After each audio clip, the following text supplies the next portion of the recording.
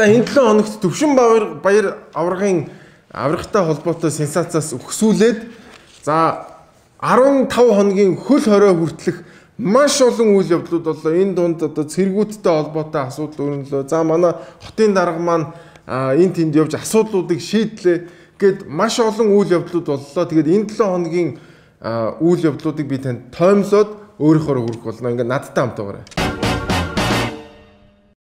Өнгөрсөн 7 хоногийн сүүлээр Төвшин баяр аврагтай холбоотой одоо сенсац тэгдсэн байгаа. Энэ ямар сенсац вэ гэхээр Төвшин баяр авраг маань одоо өөрийнхөө найзыг одоо сэхэн амьдруулах тасагт орлон зодсон гэсэн ийм сенсац өнгөрсөн 7 хоногийн амралтын өдрүүдээр болсон. За энэ 7 хоногийн нэгд өдөр цагдаагийн ерөнхий газраас энэхүү хэрэгтэй холбоотой мэдээлэл хийсэн байгаа энийг бүгд үздэг. За хохирогч одоо энэ хотын тухайд бол гинт суух үндэсний төвийн шим шижлэгийн тасагтыг дэмжлүүлж байгаа. За уг хэрэгт холбогдуулан сэжигтэн төвшин баяраас муу шиг байцуулан талын төлөв авсан.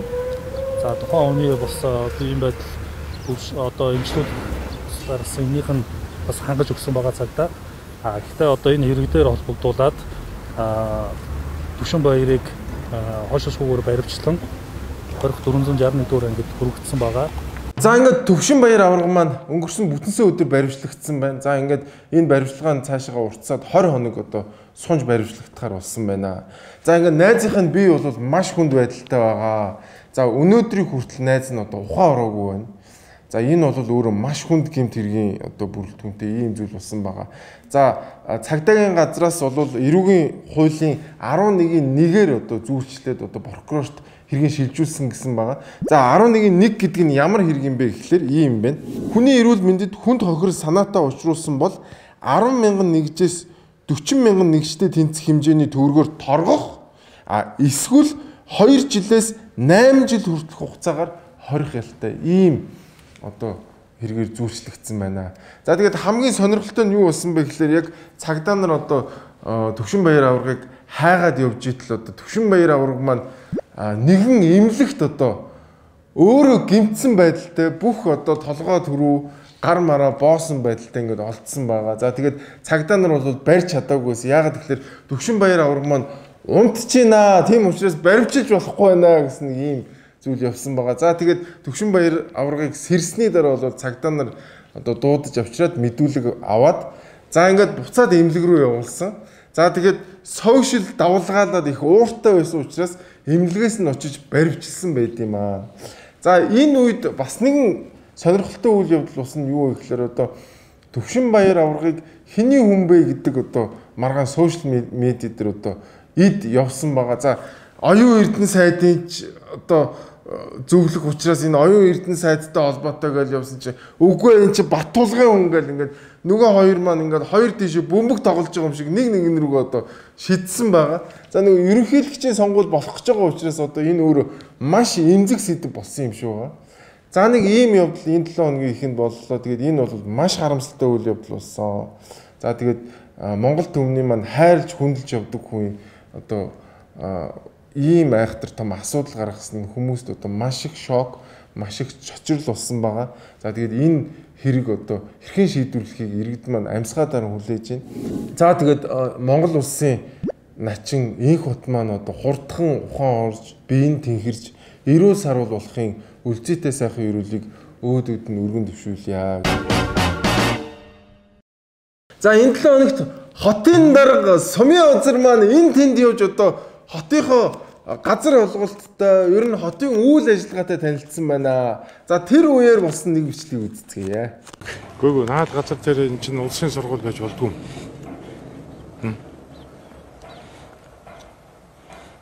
Улсын сургууль цэцэрлэг байж болдгүй юм. Улсын сургууль цэцэрлэг барих гэх нэг. Өөрөөсөө газар байхгүй мөртөө энэ одоо байгаа газрыг хувийнханд өгчөөд ингээд болилтоо танаа. Гурван чиглэлээр гацуудыг нээх хэрэгтэй. Энийг яралтаа нэ. Одоо газар хөдлөл яах юм? Газар хөдлөөд байгаа шүү дээ. Галын машин ороод яах юм? За тэг гамшиг осол гал аюул осол болвол тэгээд яах 2 цаг төгжрөө чатаад өгөхгүй. Энэ хажууд нь хамт загнуудад зогсчихсан гар ямар хогийн гар вэ те. Уг нь хоёулаа эхлээд хамт загнуудад зогсчихсан байхгүй. Тэгснээ шууд давхар орж ирснээ гал гал гаруул яах юм чаа. Галын машин хаагуур орж иргээ. Зүгээр хамт загнаа бичдэг. Тэгээд даргын хажуугаар орж ирсэн нэг юм загнадаг ийм бас хурган дарга нар байд юм. Уг нь бол хамт загнуулж исэн бол хамт л үлдээ тийм биз дээ. Хамт явсан нөхрөө зүгээр даргын загналтнаас өөрийгөө бултуулахын тулд хамт орж ир загнаж байна. Тэгээ нэг хөөх хөөх юм байна. Газар хөдлөөд байгаа үсттэй гэж. Тэгээд хөдөлж байгааг одоо бүгд л харж байгаа л. Тэгээд хамгийн гол нь сүүлүүд бас нэг ийм модонд ороод нэг юм одоо яг ингээд нөгөө камерамен ингээд хамт яваад байгаа байхгүй тий. Тэгээд яг за явах уу гэд. За яваарай гэдэг нь загинж эхэлдэг. Чи энэ харалт энэ ганцхан гарцтай бүгдээ ингээд гарсан марч ягаад энэ газар хөдлөөд энэ гал гаруул яг бүгдээрээ шатаад өгөх юм уу гэд. Ингээд нэг гинт ухаан орсон юм шиг нэг ийм PR-ийн үйл ажиллагаанууд их явдаг боллоо л доо. Тэгээд энэ маань бол мэдээж хөрс өх сайдаас гаралтай тий. Ингээл яг ингээл мотор гээл тэнгүүд шууд дараг гинт ууртаа болол загинж эхэлдэг тий. Ааста 9 шид юм болоо загинж. Тэгээд энэ загналтанд бас өртчихгүй юмсан гэсэн зарим нэг хүмүүс хамт загнуулж ийсэн аа. Одоо нөгөө муун муудад ирэхгүй гэдэг шиг тий. Хажууд зогсож ийсэн найзыг бас дарагтайгаа хамт загналтсан байдаг юм аа. За ямар ч байсан нэг иймэрхүү явдал боллоо. Тэгээд энэ 7 хоногт бол сумын онцор дарга маань бас нэлээд хідэн газар очиж хүмүүсийг загинсан байгаа. Тэгэхээр энэ загинсан энэ загналтууд маань зүгээр нэг PR биш. Яг бодит ажил болохыг одоо хүсэн ирэж байна. Өнгөрсөн 7 хоногт нэгэн цэрэг дарагтаа дэглүүлж амь насаа алдсан байгаа. За яг энэ үйл явдалтай холбоотойгоор улсын хурлын хүний эрхийн одоо байнгын хороо үүнтэй холбоотойгоор сонсгол хийсэн байгаа. За энэтэй холбоотой мэдээлэл өгдөг.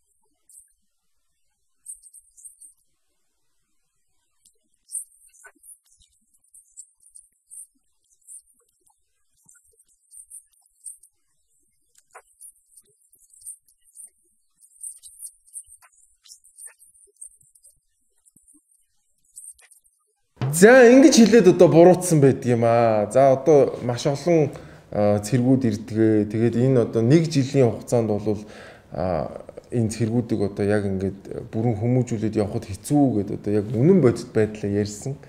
За бас тэр 2018 19 онд оргил үе байсан гэдэг ингээд дандаа үгэн дээрээ тоглуулад маш их шүүмжлүүлсэн. За миний бодлоор бол яг үнэндээ яг бодит байдлаа одоо ямар нэгэн одоо нэмэлт хачиргүй яг үннээр нь хэлсэн баха гэж бодож байгаа. Яг би энэ бүтэн бичлэгийг үзэхэд бол яг л бодит байдлаа л ярьж илээ. Түүнээс одоо нэг яг энэ сошиалор яваад байгаа шиг одоо нэг тийм одоо юу гэдгийг те нэг тийм буруу зөрүүч гэдэг юм уу тийм бол яриаггүй. А зүгээр нөхрийн гол алдаа нь юу байсан бэ гэхээр ярианы баялаг муутай ер нь их тийм ярдгүй юм шиг санагдсан. Тийм учраас нэг жоохон ийм хий гаргаад яриан дээр гаргасан хийн дээр нь дөрүүлээд одоо манай улс төрчд маань өнгөрсөн 7 хоног жоохон тоглолт хийсэн юм болов уу гэж бодож байгаа. За мэдээж одоо цэргийн байгууллагуудад энэ гемт хэрэгүүд гараад байгаа бол өөрөө яавч зөвтгөх шалтгаан биш. А гэхдээ тэглээгээд хүнийг одоо нэг ганц хоёр үгийн одоо алдаан дээр нь дөрөөлөөд ингээд бас ус төржүүлээд тоглох нь өөрөө хэр зүв юм болоо гэж бодож байна. За тэгээд энэ хүн маань ер нь яагаад ийм муу ярьдсан бэ гэдгийг би бүр нэг жилийн өмнө болсон бичлэгнээс нь маш сайнаар ойлгосон байгаа. За энийг бүгд үзье. Тэгэхээр төсөв хүчний дараагаар томилогдож байгаа байна. Өмнөх дараагуулын бүтээн байгуулалтын ажилд нэлээ хойр ганцсан гэдэг шалтгаанаар томилогдсон байна. Энэ дээр та юу яаж ажиллах вэ? Мэдээлэл өгч болоход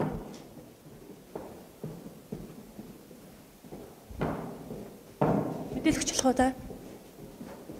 Олон нийтэд иргэдэд мэдээлэл өгөх үүрэг нь та бүхэнд байгаа шүү дээ.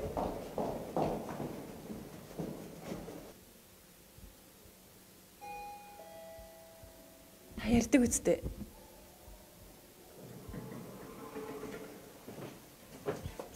Уучлаарай.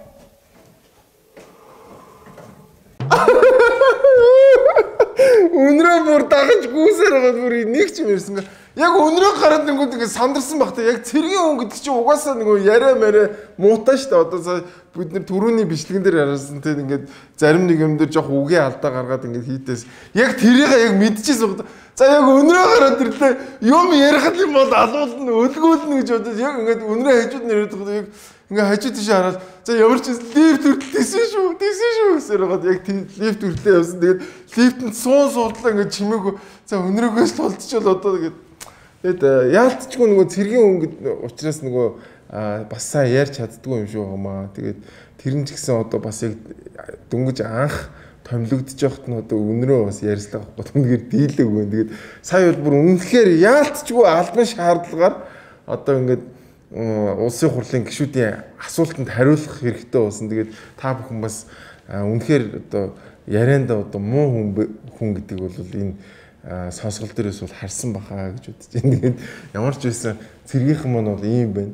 За тэгээд харамсалтай дахиад энэ 7 хоногийн эцсээр бас нэгэн хэрэг гарсан байна. 8 өчтөр 18 цагийн үед бол мэдээ ирсэн. Одоо харуул дээр харуулын дарга амийн нэгүтгэд хоёр зэрэг одоо зэвсэгтэй явлаа гэд мэдээ авсан. Тэгээ энэтэй холбогдуулж Илэн Олимпик газар дээр том бүлэг ажиллаж байна. Яана дахиад ийм амир хэрэг гарсан байна. Хоёр цэрэг харуулын ахлагчаа одоо амь насын хүнүүгүүд ингэж яасан байна. За энэ бол одоо бас маш маш ноцтой хэрэг. За тэгээд энэ хоёр залуу маань бол нийт 45 сумтай гарсан байна. За тэгээд нэг айлаар ороод моциклийн гууж унаад гамбир хийлгэж идчихэд одоо цаашаа явсан гэсэн тийм сураг дуулцсан байгаа. За тэгээд энэ яриан дунд одоо бас маш их одоо өнгөрсөн сонсголоос ахуулаад маш их яригдж байгаа юм. Ер нь энэ одоо цэрэг айрамд сэтгэл зүйчдийг одоо яаж бэлдээд байгаа юм бэ?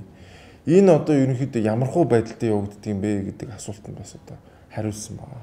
Цэргүүдтэй ажиллах сэтгэл зүйчийг хэрхэн яаж бэлдэх? Монгол сэтгэл зүйчтэй бол бид сүүлийн үед бол бид гэлтгүй манай хил хамаас хилийн албаны сургууль дотоод иргэн сургууль хилийн албаны сургууль дээр Одоо бид 86 7 дахь жилдээ явж байна. Анх төв сургууль гэж байгуулагдаж нэг манай самархын дээд сургууль гэж. Энэ сургууль дээр социализмын цэрэг улс төрийн хүмүүжлийн одоо офицер гэж мэдчихсэн бол өнөөдөр мэдээлэл соёл сурчлагын мэдээлэл одоо эрхэлсэн энэ сэтгэл зүйч бэлтгэх бие даасан боловсролын ямар батлагс хөтөлбөрийн дагуу үйл ажиллагаа явуулаад 4 жилээр офицерыг бэлтгэж төвсгөж байгаа. Гэж бид бол энэ дээр нэмээд нэмээд манай зарим одоо офицер ахлагчны гэр бүлийг боловсролын их сургуулийн сэтгэл зүйн анги төгссөн Монгол Улсын их сургуулийн сэтгэл зүйн анги төгссөн өсгөөчүүдээс одоо тэр ахлагчнуудаа гэр бүл болгох замаар юу хамтран одоо сургуулиудаа хуршиж гэрээ байгуулад ингээд одоо ажиллаж байгаа. За бүр хон ураг нээлж байгаа юм шиг болох юм байна л да. За юу яач энэ хүмүүсийн сэтгэл зүй хэцүү байна. Энэ зарим нэг офицер ахлагчаа одоо энэ сэтгэл зүй анги төгссөн октоудтай нийлүүлье гэдэг тийм ээ За тэгээд одоо гэргийнэр очиод одоо офицер ахлагч нарынхаа сайхан сэтгэл зүг засаад а дээрээс нь одоо цэргийн ангид байгаа цэргүүдийнхаа сэтгэл зүг засаад одоо бас үнэхээр бас нэг цаанаа нэг бодлоготой тийм ээ эн чинь ингээд нэг манад цэргэн байна танаа сэтгэл зүйч нь байна ингээд нийлүүлэх юм бол тийм ээ энэ хоёр бол одоо одоо хосгүй чамдман эрдэнэ болноо гэдэг сэтгэл зүгээр бас хүмүүсээ бас давхар бэлдэж байгаа юм байна. Энэ одоо бас бодлоготой явж байгаа юм биш үү? За тэгээд хэрвээ та цэрэгтэй суугыг хүсэх юм бол бас боловсролын их сургууль, Монгол улсын их сургуульд байрладаг одоо сэтгэл зүйн ангид одоо сураад бас сайхан царайлаг офицер залуучуудтай ингээд бас суугаад энэ цэргийн албаныхаа сэтгэл зүг бас засах боломжтой байх шүү охтуудаа тийм ээ. Нэг ийм сонирхолтой мэдээ өгсөн байна. За ер нь бол энэ цэргийн албан дээр маш их асуудлууд гараад байна. За тэгээд энийг одоо бас энэ 7 хоног жингоо ярьлаа. За тэгээд энэ 7 хоног дахиад нэг ийм асуудал үүрнэлөө.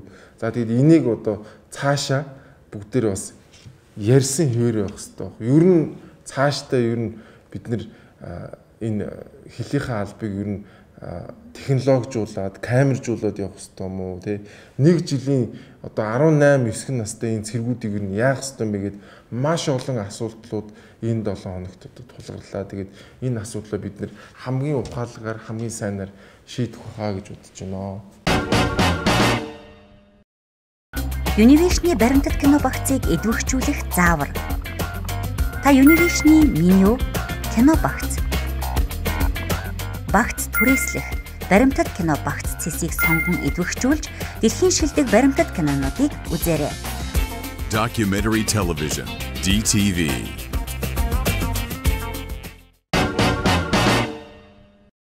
За ингээд өнөөдрийн тодруулгын зочноор улсын хурлын гишүүн Өнөр Болор. Надад тэрээс буршаал ингээд нөгөө Орсын нөгөө Иван Үргэнтийн нөгөө вечерний Үргэнт гэдэг шүү дээ тий. Тийм тэр нэвтрүүлэгт орж байгаа юм шиг гэх тийм мэдрэмж төрж байна. Уг нь чинь амар олон хүмүүс алгадчих хэвээр байхгүй. Аа. Тэгсэн чинь даач одоо коронавирусаас болоод ингээд үзэгчдэггүй байгаа. Тэгтээ зүгээр та бол ер нь улсын хурлд байгаа 30 наснуудын төлөөлөл болоод ингэ байж байгаа тийм ээ. За маш их баярлалаа гэн. Тэгээ би хараа сая ингээд нэг Ерөөсөө ингээд насныхаа талаар бас ингээд нэг хайхтар боддгоо байсан байхгүй юу. Тэгсэн чинь э, нөгөө одоо сая сүүлийн үед чинь ингээд PCR шинжилгээнүүд айгу хөгөөд байгаа шүү дээ тий. Тэгээд тэгсэн чинь регистрээ хийлээд та хитэн настай вэ гэдэг тэгсэн чинь би ингээд цоцсон шүү дээ бүр хитэлэг ингээд бодоод нас масаа бодохгүй. А та чи сэлэнгээс сонгогдсон гişүн тий. Тийм. За ингээд э, газар тариалангийн үйлдэл маань эхэлж байна. Одоо яг 4 сар гэдэг бол одоо жинхэнэ нөгөө орон шаа гэдэг нөгөө тариагаа тарьдаг нөгөө хамгаалт техник сэлбэгээ одоо Улаанбаатар хотоос татдаг үлэр шүү дээ тийм. За яг энэ үеэр одоо ингээд карантин тогтоочлоо. Ерөнхийдөө сэлэнгийнхэн маань юу яаж нэ гайгүй юу цаа. Тий ер нь улсын их хурлын Сэлэнг аймгаас сонгогдсон улсын их хурлын гишүүний хуваар тийм ээ одоо ер нь бол газар тариалан за энэ хөдөө аж ахуй жижиг дунд үйлдвэрийг хөгжүүлэх чиглэлээр бол одоо миний хувьд бол бас нэлээх анхаарал хандуулж бас ингээ ажиллаж байгаа. Тэгээд ер нь 4 5 сар бол одоо сэлэнгчүүд бидний хувьд бол маш одоо чухал одоо тий сарууд байдаг. Үндсэндээ одоо Сэлэнг аймагт одоо байгаа одоо 7 700 гаруй одоо тариаланчид тэгээд 3000 гаруй одоо ногоочдыг бол одоо цаг алдалгүй яаралтай дархлаажуулах асуудал бол хамгийн чухал асуудал байгаа. Тэгээд өнгөрсөн 7 хоногт бас одоо тий орон нутгийн одоо энэ вакцинжуулалтын ажил бол бас одоо жоохон төлөвлөгөө одоо тий одоо хойшлсон байдлаас одоо э, болоод ямар ч л байсан одоо дуу хоолойгоо хүргээд тий аль болохоор одоо сэлэнг рүү яралтай одоо вакцин татах асуудал дээр бол анхаарал тий анхаарал хандуулсан. Тийм тэгээд э, Сэлэнг аймаг бол одоо 120 мянган хүн амтай. Тэгэл одоо Монгол улсын хамгийн сайн хөгжсөн хөдөө аж ахуйн бүс учраас тийм ээ одоо бас нийт одоо тариалтын үр тарианы 60% гаруй одоо хувийг за төмс хүнсний ногооны 40 гаруй хувийг бол бас одоо тариалж байна. Айл болгон дотор одоо хашаанда тий ногоо тарьдаг ийм уламжилтай тийм ийм одоо хөдөлмөрч иргэд байгаа. Тийм тэгээд э, бас дуу хоолойгоо хүргэсэн. Тэгээд эрүүл мэндийн сайдтай болон одоо хүнс хөдөө аж ахуй сайд одоо шадар сайд нартай бас уулзалтаад тийм уулзалтаад. Тэгээд ямар ч хэлээс эхний ээлжинд бол сэлэн аймаг руу бол 15 мянган тонн вакцин явуулаад тэгээд тэрнээс бол 1000 гаруй одоо өөрөлд 3.1 одоо тариалж ногоочд хамрагдаад бол одоо вакцинжуулалтын ажил бол одоо эд явагдаж байгаа юм байдалтай байна. За тариагач тариад вакцинжуулалтаа чигээд аль аль нь л үү. За энэ 7 хоногт бол өнгөрсөн 7 хоногт одоо хамгийн их яригдж байгаа асуудал одоо танаас асуухгүй чадахгүй нэ. За одоо Facebook дээр ч одоо таны зургийг ингэж тавиал. За тэгэл Сөүл рестораны зургийг тавиал. За өнөр болор бол паркинг газраас гуссан нөхөр байна гэл тэ. Тэгээд одоо бараг л гадна жагсаал одоо өнөр болор одоо паркинг газар буцааж өгөх гээд парк аврыг хөдөлгөөнийхөө явсан. За яг үнэхээр тэр паркинг газраас гусцсан юм яг юу болсон юм бэ? Тэр талаар та нэг мэдэр ярьж өгөө. За чийч баг мэдж байгаа бах та тий сүүл ресторан ер нь одоо тий ингээд туяа ресторанд чинь одоо тий маш манай аав ээж хөрмөө хийжсэн шүү дээ. Гэхдээ харин тийм жоо хурам найр болно. За тэгэл одоо хүүхдүүдэд паркаар зугаалжуулж агаад гэр бүлтэйгээ орж ирээд хоолно тий ийм сайхан дурсамжтай газар шүү дээ. А сүүл рестораны удирдлагууд бол одоо өнөө хүртэл 25 жилийн турш тийм ээ одоо тасралтгүй яг одоо энэ одоо үйл ажиллагааныхаа чиглэлийг бол одоо тий уламжилж ингэж барьж ирсэн. За тэгээд 100 гаруй одоо ажилчдыг одоо хамт олонтойгоо тийм ээ одоо үнэхээр одоо Монгол улсын одоо үйлчлэгээний салбарт тий одоо соёлыг түгээж одоо стандартыг одоо бий болгож ирсэн. Ийм түүхэн үйл явц гавьяатай. Би бол одоо сүүл ресторанаар үнэхээр бахархдаг тийм ээ. Миний ажлын гараач тэндээс одоо эхэлж исэн тийм. Тэгээ би намраг энийгэд нэг айгүй энэ чиний над энэ хусан гэдэг хилцэг үг чинь болоо л шүү дээ. Ингээд наваад юу бодогдуулж байна гэхээр одоо сүүлийн ингээд залуучууд шүү дээ. Ингээд одоо үгийг ингээд маш их ингээд товчиж хоорондоо ойлгодог болсон байл. Одоо солонгос ч гэсэндээ тэ тухайлах юм бол тангион хажио өдрөгээд ингээд хэлэх бол одоо энэ уламжлалт солонгос одоо тэ мэдээж ойлгомжтой.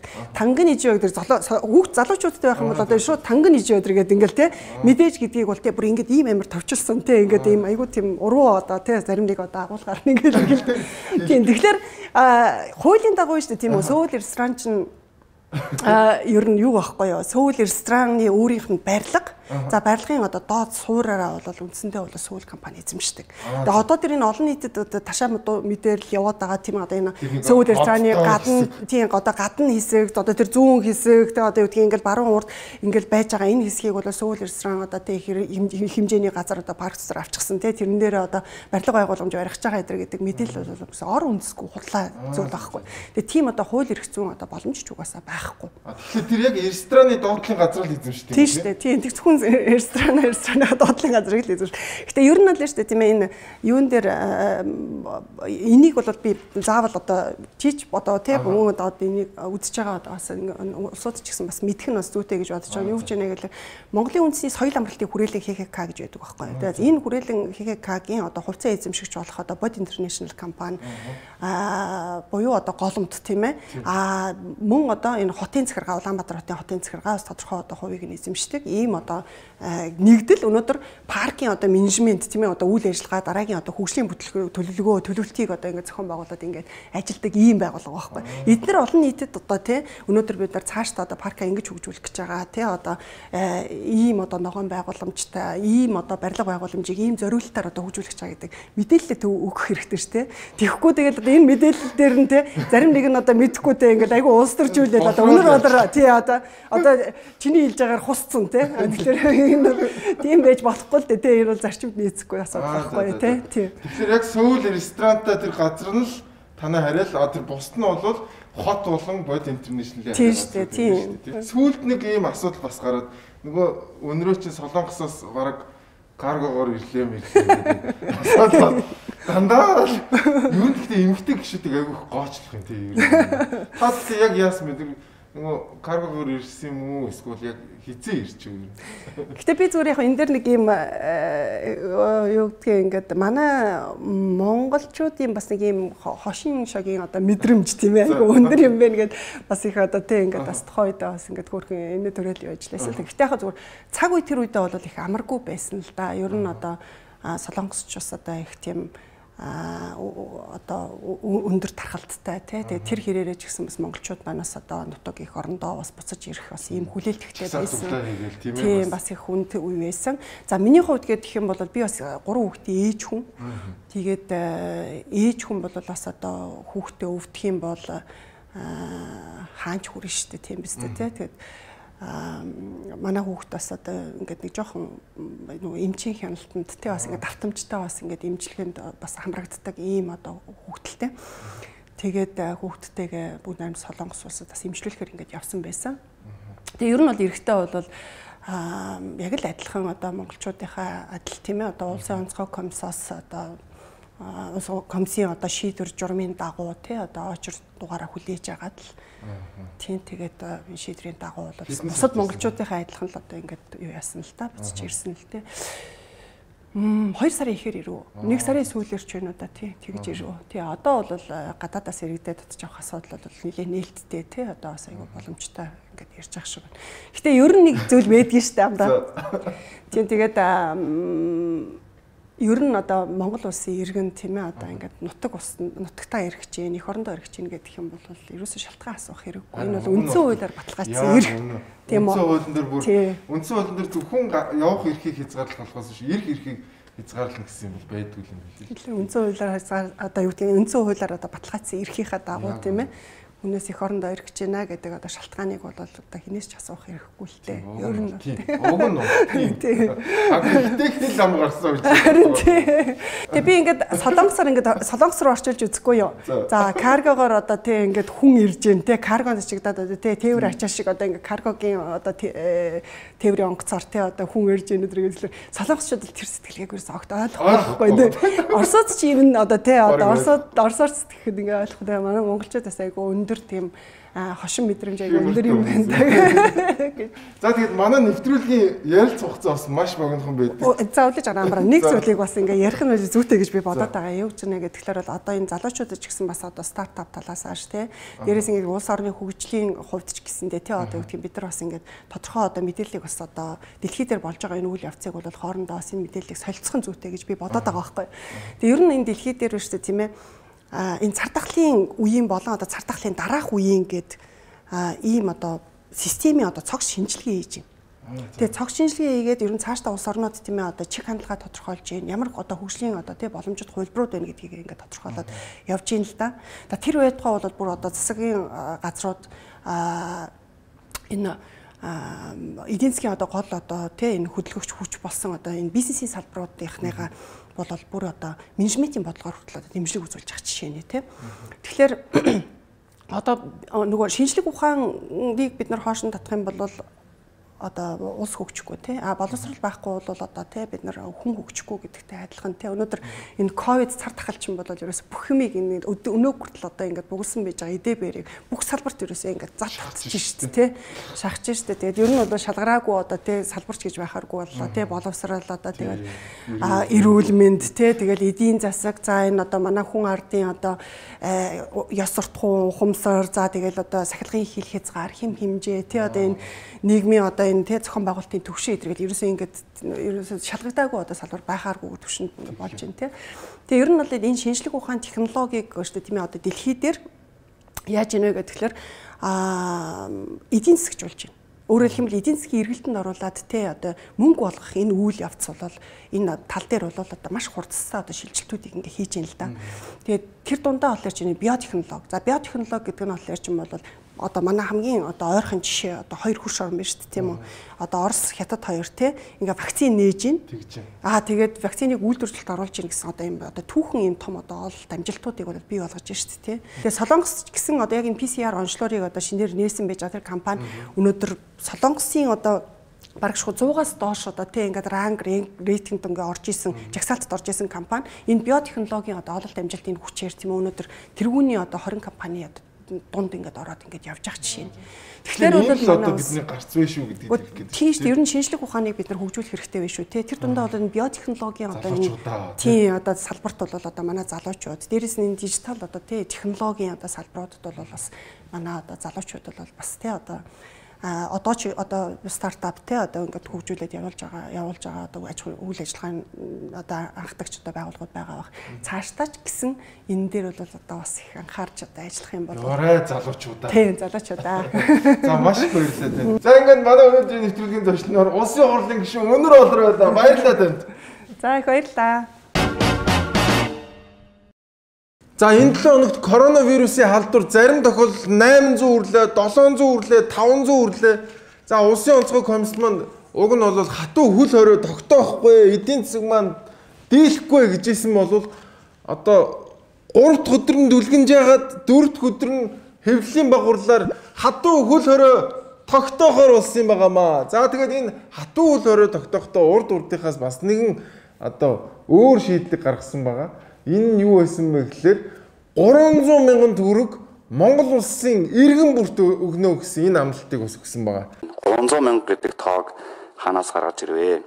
Ямар эдийн засгийн тооцоолын үндслээр 300 мянган төгрөг өгч байгаа юм бэ? За татвар төлөгч нь гадаадын ч бай, дотоодын ч бай ямар ч аж ахуй нэгж төлөх үүрэгтэй. За энэ үүргийнхээ хүрээнд ажиллагаа компаниас 3 удаагийн гүйлгээгээр нийтдээ нэг их найт 26 тэрбум төгрөгийн татвараа төлсөн байна. Тэгэхээр энийг 3.3 сая иргэндээ хуваахаар 300 мянга гарч байгаа. Вау! Зүгээр орж ирсэн мөнгө шууд 3 3.3 сая иргэндээ хуваагаад гэсэн чинь шууд 300 мянга гарсан тий. Яа, үнэхээр бүр easy бодлого бодох юм а тий. Зүгээр нэг дөрөв аргын тоогоор ингээд шийдээд ингээд манай Монгол улсын хүн амын яагаад 300 мянгаыг өгөх ёстой юм тий. Энэ хэдэн өдрийн хүнсийн хинд нь өгөх ёстой, хинд нь өгөхгүй. Энэ дараа нь ямар үр дүн гарахын марахын тэр мөр юус хамаагүй зүгээр орж ирсэн мөнгө өө юу яач байгаа надад шууд 300 300 мянган ирэндээ хуваачих гингүүд оо хүний 300 мянга нялх хүүхдээс нь агуулад хөгшөө үрдэл гадаад байгаа үрдэл бүгдэнд нь 300 мянган төгрөг бүгдэнд нь өг гээд. За тэгээд энэ бол бүх Монгол улсын бүх иргэнд ногдож байгаа мөн гадаад байна уу, дотоод байна уу, дөнгөж төрсэн байна уу, тэ хитэн настай байх нь хамаагүй баян байна уу, ядуу байна уу бүх хүнд өгж байгаа мөнгө юм байна. За ямар ч үсэн ийм easy, ийм амархан бодолтоор одоо манай төрийн мөнгө олголт бол явдгийм байх. Зөвхөн ингээл тэ орж ирсэн мөнгөө шууд 3 сая 300 таа хаагаад ингээд бичдэг юм. За тэгсэн чинь энэ мөнгөний их усүр нь юу байсан бэ гэдэг дээр бас асуудал гарсан байгаа. Энэ бол оюутлагоос урж ирсэн мөнгө гэсэн байгаа. За энэтэй холбоотой нэг сэтгүүлч бас асуулт асуусан. Энэ бол оюутлагаа ордоос орж ирсэн татврын мөнгө төр байршуулсан байгаа. Улсын одоо орлогод бол албан ёсоор бүртгээгүй. За олон улсын арбитрийн шүүхийн эцсийн шийдвэр гараагүй хахад энэ мөнгийг ингээд тараачаар сүлд нь төсвөөс төлөх асуудал гарах уу? Энэ дээр яаж санхүүгийн шийдлээ хийсэн бэ? Мэдээж ялагдвал Энийг яаж төлөх үү гэдэг их усүртэй холбоотой асуудал яригдана. Гэхдээ энэ маргаан нь өөрөө 20-оос 3 жил хугацаанд үргэлжлэн эхний үр дүн гараад санхүүжилтанд ороод ирсэн байх үеийн энэ нөхцөл байдлыг бид нар эсвэл дэлхийгээд явах байл гэдэг л ийм байдлаар л шийдвэр гаргачихсан. Юу вэ? Монгол зүгээр ингээд төр байршуулаад за хэрвээ наад мөнгөө одоо ялах юм бол танаа тал босоож өгнө? А ялагдах юм бол бид нар наад мөнгөө өөрсдөө авнаа гэд түр ингээ байршуулсан байсан мөнгөний зүгээр ингээ цацсан байж дэгнээс тээ. Тэгээд 2-оос 3 жил үргэлжилнэ. Тэр хооронд одоо хүлээж чадахгүй нэ.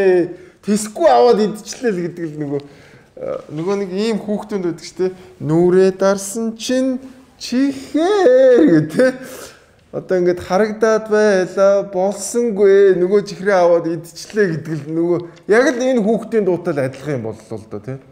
За тэгээд 2 юм уу 3 жилийн дараа манай оюун эрдэнэ байхгүй тий. 3 жилийн дараа өөр засаг гараад ирнэ. Сонгуул болцсон байна. За тэр үед бол оюун эрдэнэ энэ мөнгийг төлөх төлөхгүй бол энэ хүнд ямар ч хамаа авахгүй. А тэр үеийн засгийн газар одоо энэ мөнгийг төлөх нь одоо тэр үеийн засгийн газрын хариуцлага болно. За одоо нөгөө 300 мянган төгрөгөө авцсан байгаа хүмүүс хэрвээ энэ одоо шүүхийн маргаан дээр ялагдах юм бол одоо засгийн газар тхэн юм шиг гоо тий. За нөгөө эдсэн 300 мянган төгрөгнүүдээ буцаагаад өгөөрэй. Нөгөө шүүхтэр ялагдсан шүү алий. Гэт баг бүгднгийнх нь амнаас нь баг гулгуулад авах юм байна шүү тий. Чи тэр эдсэн мөнгө алий буцаад аа дэрлэлтэй гэ тий. Бараг амнаас нь гаргаж авах юм байна шүү тий.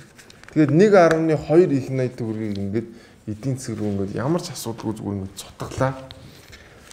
За тэгээд энэ мөнгө нь одоо ирээдүйд Монголд орж ирэхгүй ч байж магадгүй мөнгө юм шиг байна. Нөгөө халаагүй бавга арьсаа ямар ч үсэн бүгдээрээ 3.3 сая иргэндээ хуваагаад өгчлөө. За тэгээд яг ингээд хуваагаад өгсөн чи юу болсон бэ гэсэн чинь нэг хоногийн зайтай одоо хүмүүст одоо боломж олгоод энэ шийдвэрийг гаргасан байна. За тэгээд энэ шийдвэрийн маргааш нь юу болсон бэ гэсэн чинь битүү төгжрөл болсон бүх ATM-нууд гацсан, банкны аппликейшнууд гацсан, хүмүүс баг хаасайгүй явж баг гартаа таарлсан бүхнээ авсан, барааны үн өгсөн байгаа. Одоо мах мах үнд орсон бүр принтерийн хор хүртэл үнд орсон. Зүгээр цаас бичиг хэргийн цаас хүртэл мянган төгрөгөөр үнд орсон байгаа. Ингээд яг энэ шийдвэрийн дараа маргааш нь баг бүх юм үнд орсон. Гутлын уловчны үн хүртэл хүнд орсон байдیں۔ За тэгээд нэг иймэрхүү л бодлоготой иймэрхүү юм болсон байгаа. Тэгээ энийг бол сангийн сайд маань бол тооцсон гэж хэлсэн боловч үнэхээр тооцоогүй байсан. Бараа бүтээгдэхүүний үнд орсон байгаа. За тэгээд нэг иймэрхүү бодлоготой иймэрхүү юм болсон байгаа. За тэгээд энэ хэвлэлийн баг хурал дээр улсын онцгой комиссийн дараагаас бас нэг сэтгүүлч нэг асуулт асуусан байгаа. Нөгөө нэг их нэртэй холбоотой асуудал чи одоо явсаар тийм За шадар сайдаас олон нийтийн зүгээс асууж байна. Та хариуцлага хүлээх үү гэдэг ийм асуулт байна. Тэгээ энэ дээр бас нэг тодорхой хариулт тайлбар өгөөч. Би бол цар тахалтай тэмцэж байгаа. Зарим нэг нь надтай тэмцээд тах шиг байна. Би Монгол улсын шадар сайдын хувьд төр ард түмнийхээ өмнө өөр хүлээсэн хариуцлагатай алба хашиж байгаа хүний хувьд би ч вэ манай гэр бүлийнх ч вэ хинэн ч хуульд өмзөрчөөгүй. Харин энэ улсыг төртөө нь улс төрчтөө нь худалдаад авчдаг банк санхүү бизнесийн бүлэглэл цар тахлаар бизнес хийдэг хэсэг бүлэг этгээдүүд цар тахлын цаана тусгаарлах байраар бизнес хийдэг нөхдүүд гээд салбар салбарт богссон нөхдүүд бол намайг зайлуулахын тулд зохион байгуулалттай ажиллаж байгаа. Пөө зохион байгуулалттай бүлгий.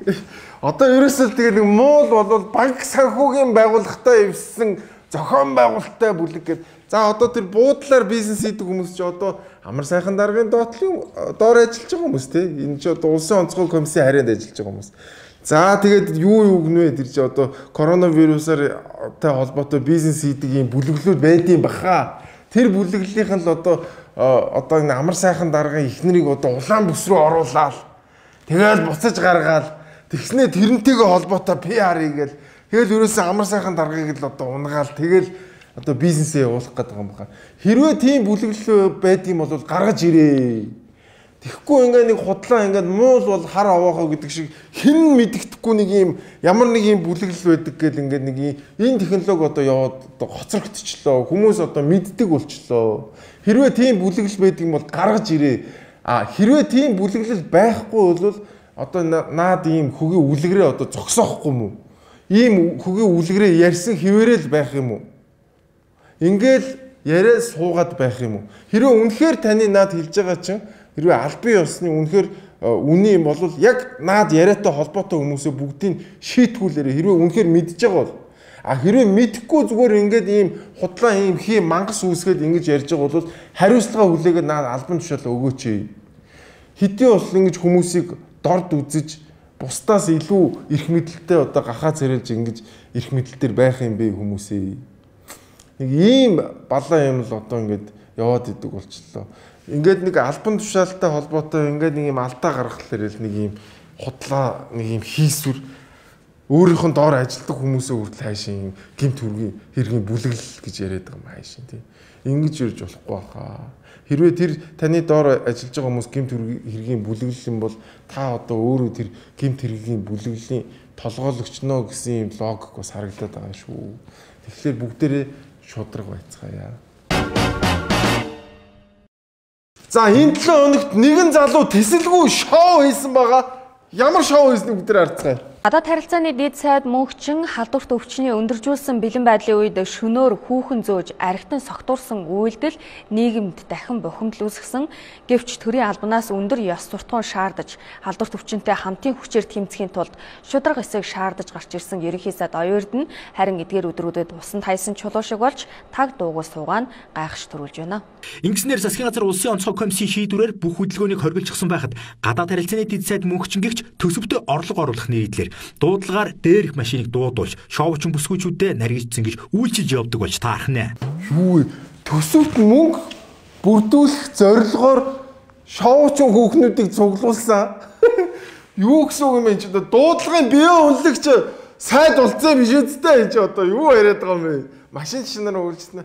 А хүүхнүүд төрийн машинаар үйлчлүүлсний төлбөрөөр 200 сая төгрөг гарсан шүү өдөр гэдэг манай одоо төрч одоо ингэтлээ мөнгөгүй болцсон байшгүй л үтэн ч та. Эсвэл бол энэ дарга нар ч одоо шоу цэнгэнэ одоо ингэж тайлбарладаг болсон юм. Тэгээ ер нь манай сайд майд болохоор ер нь нэг тийм ингэ нэг те нэг ийм болчтой юм шиг те. Ээ, манайхан машин дээрээс суцгаа хөхнүүдээ наашраа гэл те.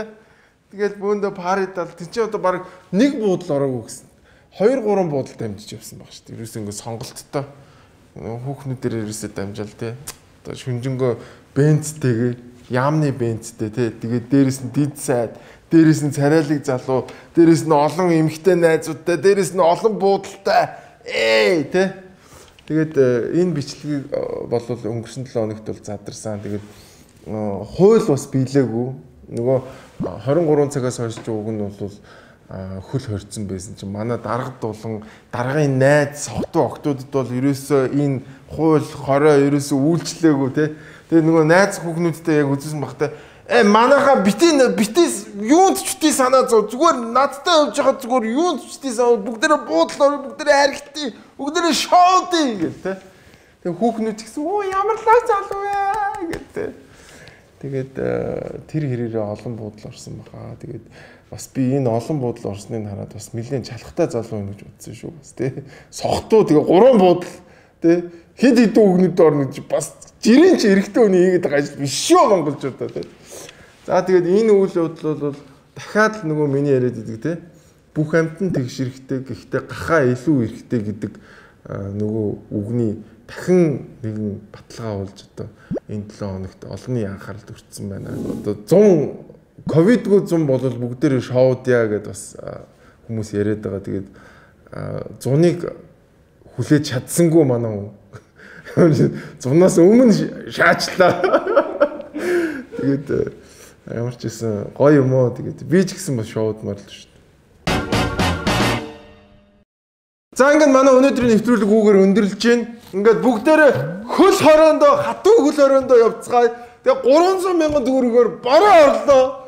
Сайхан бороондоо нороод, мөнгөндөө нороод. За дээрэс нь энд э, энэ хөл хороогоор ч одоо арх зарахгүй гэж байгаа. Тэгээ сайхан хуурай.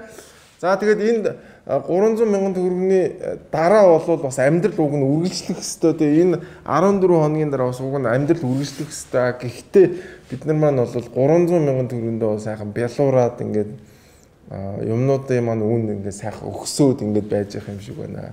За улсын онцгой комиссийн одоо бэлэн бус бэлэн байдал одоо энэ 2-7 хоногийн турш бас үргэлжлэх болов уу гэж бодож байна. Өнгөрсөн 3 хөл хориогоор бол зохицуулж чадаагүй юм чинь энэ дөрөвдүгээр бол бас зохицуулж чадахгүй байх гэж бодож байна. За ганц юмыг одоо хүсмээр байна. Иргэд минь ээ одоо энэ хөл хорионы дараа бүгдээр ямар нэгэн байдлаар амьд үлдээ шүү те амьд байж байгаараа бүгдээрээ те ямар ч байсан энэ 300 мянган төгрөгөө одоо ингээд тас зуураад шултгаа бүгдээрээ амьд байгаараа тэгээд та бүхэнд ямар ч байсан амжилт төсөй бид нар яг л нөгөө хоол хоол идэхийн төлөө ингээд нэг ингээд гахаанууд явсаар байгаад нэг юм халуун төмс ингээд эзэн нөгөөд нөгөө халуун төмсөө идэд нэг хүчдэг гахаанар байдаг шүү дээ. Тийм гахаа шиг л биш байгаасаа да гэж л одоо та бүхнээс одоо хичээнгүйл хүсэж чинь тэгээд 14 хоногийн дараа бас амьдрал байгаа шүү. Тэгээд та бүхэнд ямар ч гэсэн хөл хорионд амжилт хүсье. Тэгээд энэ 7 хоногийн weekly show ингээд өндөрлж чинь тэгээд та бүхэнд амжилт хүсье. This is Amra's weekly show.